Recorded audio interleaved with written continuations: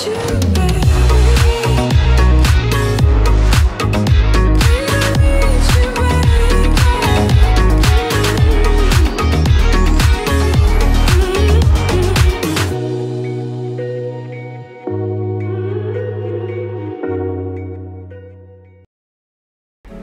guys, welcome to my channel. Tên của mình là Thảo Nhi Lệ. Hello guys. Và hôm nay Nhi rất là hồi hộp luôn. Vì sao? Vì tuần này Nhi sẽ bắt đầu hành trình Hoa hậu Hoàn Vũ 2022 của Nhi. À, Nhi hồi hộp lắm, mọi người không tưởng tượng được. Và dù sao thì hôm nay Nhi vẫn dành ra một chút thời gian của Nhi Để Nhi có thể quay được cái Q&A này với mọi người.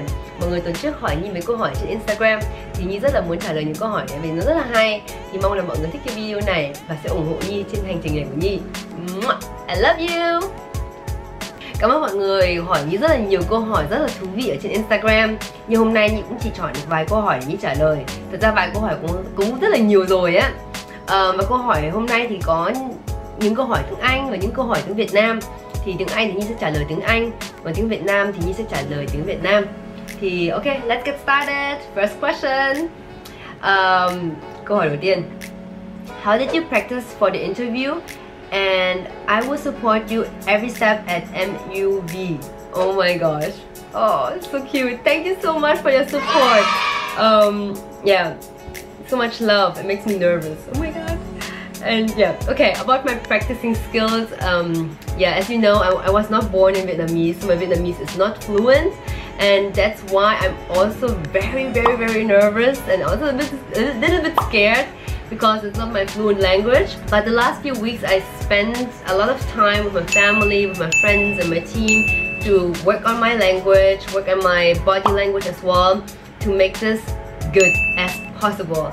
And I feel right now I'm much more confident than a week ago and I hope I'm gonna be more smooth in my Vietnamese and I'm gonna rock this. I hope you guys are gonna support me and give me so much love. Thank you. Okay, next question guys. Um, câu hỏi tiếp theo.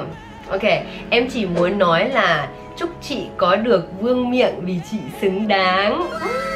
Thank you em rất nhiều, cảm động quá. Um, Thật ra thì Nhi nghĩ là phụ nữ mình ai cũng có một cái invisible crown ở trên này là ai cũng là một người queen cho bản thân mình Không quan trọng là mình thi cuộc thi hoa hậu hay không um, Đối với cuộc thi hoa hậu Hoàn Vũ này tất nhiên là sẽ có nhiều áp lực với Nhi hơn uh, mình nghĩ là mình cần rất là nhiều may mắn và nỗ lực để mình có thể mình đi xa được thì Nhi mong là trong cuộc thi này Nhi có rất là nhiều support từ mọi người và tình yêu thương thì Nhi có thể Nhi đi xa được nhất có thể mong là mọi người bên cạnh Nhi nhớ So guys, next question number three. What social works or passions do you want to bring to Miss Universe? Alright, um, for everyone who doesn't know me yet, I'm a fashion and lifestyle influencer and I am also a founder of a lingerie and fashion brand. And for myself, about my life, I am mostly surrounded by women. My grandma, who I'm living with, she's female, then all my team members are female. And I think all these women around me are the, are the source of inspiration for my life and my work. And that's what I'm standing for. I'm standing for woman empowerment. And if you know want to know more about what I'm gonna do, watch the show. Câu hỏi số 4 Bạn có áp lực khi gặp ban giám khảo khó tính không? Ok. Câu hỏi này rất buồn cười. Thật ra thì nếu mà nghĩ như vậy thì như thấy là Không quan trọng là ban giám khảo khó tính hay không khó tính. Kiểu gì Nhi cũng sẽ rất là hồi hộp và áp lực luôn. Nhưng ờ, uh, Nhi hy vọng là hôm mà gặp các chị ban giám khảo Thì mong là các chị sẽ ủng hộ Nhi và yêu thương Nhi. Để Nhi không có áp lực quá Tại vì Nhi áp lực Nhi sẽ quên hết Câu hỏi tiếp theo Who do you think will be your most potential competitor? Mm. In this competition, there are gonna be so many amazing, beautiful, smart women. Like so many. And but the but in the end of the day, I think the biggest competitor for myself is me. Because I'm the one in the end of the day who's giving myself pressure and anxiety and not anyone else. And I think I have to compete with myself to make this work. Um, câu hỏi tiếp theo. Chị sẽ tự thiết kế cho mình hay sẽ dùng váy của nhà thiết kế khác ạ? À? um, Yeah, tại vì thật ra thì Nhi là một người rất đam mê về thời trang và Nhi cũng có một cái brand riêng về thời trang. Thì uh, Nhi mấy tuần nay Nhi cũng chuẩn bị và dành rất nhiều thời gian cho những cái bộ đồ của Nhi cho cuộc thi hoa hậu này tại vì Nhi muốn là một người rất là fashion ở trong cái cuộc thi này á. Thì uh, có những cái những cái váy là bên team Dafale uh, ờ, chuẩn bị cùng với Nhi. Và cũng có những uh, những đồ là có bạn bè nhà thiết kế ủng hộ Nhi để có thể tham gia cuộc thi hoa hậu Hoàn Vũ mà mình có thể lộng lấy nhất có thể. Thì nói chung là Nhi cũng cảm ơn tất cả những bạn bè ừ, của Nhi trong giới thời trang mà đã ủng hộ Nhi để Nhi có thể có những cái bộ đồ rất là xuất sắc. Cảm ơn anh chị nhiều nhớ I love you. Oh my god question này. Chị luyện catwalk như thế nào rồi? Cái chị show vài clip được không? Oh my god. Thật ra thì um, thật ra thì uh, hai ba tháng nay nhi cũng có một bạn tên là Miss nguyễn bạn ấy là một người top model thì bạn ấy cũng giúp đỡ nhi um, dạy cho nhi catwalk vài tháng nay. Um, thật, thật ra thì ban đầu nhi rất là struggle tại vì nhi không phải là một người mẫu chuyên nghiệp như là chỉ là influencer thôi. Thì nó rất là khó. Thật sự là catwalk là một cái khó và phải có kỹ năng kỹ thuật rất là nhiều.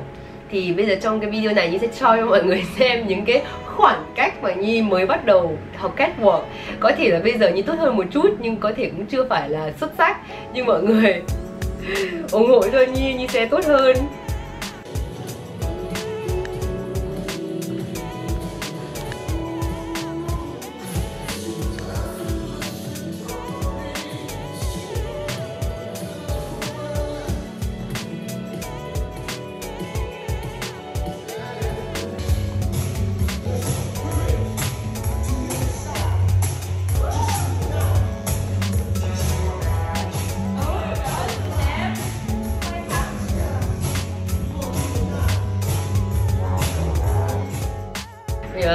Mọi người đừng cười Nhi nhé Nhi bây giờ tốt hơn tốt hơn những trong video này rồi uh, Next question um, Was it difficult to balance work and the competition? Um, okay, to be honest, right now I don't really have a work-life balance at all. Like, I'm a full-time influencer, full-time businesswoman, and now joining a pageant. It's really a lot of work, and I really try right now to balance everything because I'm just stressed out. But I feel like it's gonna be better. It's gonna be better alright? And let's get soon my healthy lifestyle back. Uh, chị có sợ phần thi trả lời câu hỏi không? Vì tiếng Việt của chị vẫn bị ngọng. Cảm ơn em rất nhiều. Yes nhi rất nhi rất là ngọng. Và nhi mong là ban giám khảo hôm đấy mọi người cũng sẽ uh, tha thứ cho nhi tại vì giọng của nhi hơi ngọng. Yeah nhi nghĩ là dù mình ngọng hay là không ngọng thì kiểu gì thí sinh ai cũng vẫn sẽ hồi hộp. Nhưng tại vì Nhi ngọng Nhi còn hồi hộp hơn rất nhiều hmm. What's the message you want to bring to this platform for Viet women and young girls?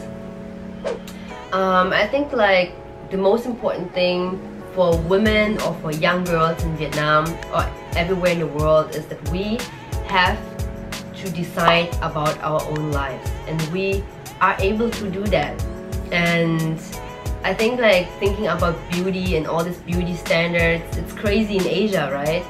But we should never forget that the real beauty comes from within. And it's not only the look, the clothes, what we are wearing every day, but it's really what you're carrying on your heart every day. And this is the real beauty which you're shining out. And yeah, that's the confidence as well. And I hope I can, can deliver so much more for all the girls and the women during this competition. We can do it, girls! Girls run the world. Girls run the world. okay, we are. I think we are coming to the end of the Q and A. Let's let's do one question. Um, okay, this one I think is funny.